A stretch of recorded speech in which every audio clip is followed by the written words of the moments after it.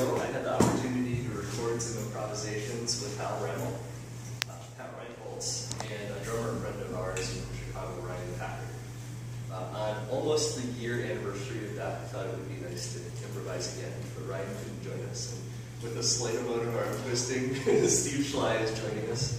So we've got Hal on sound palette, Pat on cello, Steve on iPad software and electronics, and myself on guitar and very electronics.